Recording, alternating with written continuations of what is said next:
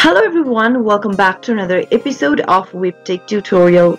In today's video, I'm going to show you how to log in to Lloyds Bank online banking account. Watch the video till the end and don't forget to subscribe to our channel by hitting that subscribe button. Press the notification bell so that you'll never miss another upcoming upload from us.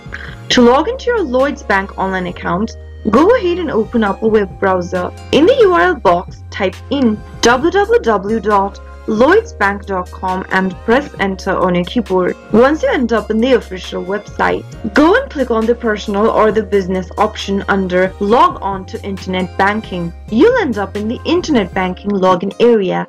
Type in your correct user ID in the first text box followed by your password on the next. If you'd like the system to remember your user ID, Click on this Remember My User ID box, but leave it unchecked if you are using a public or a shared device. If you've forgotten your logon credentials, click on the Forgotten Your Logon Details link and follow the instructions to look for them. After filling in your user ID and password and if they are correct, you can click the Continue button in order to get access and manage your online banking account for Lloyds Bank how it can be done. I hope the tutorial was helpful to you. If it was, go ahead and give us a thumbs up. I'll soon be back with more videos like this. Thank you for watching.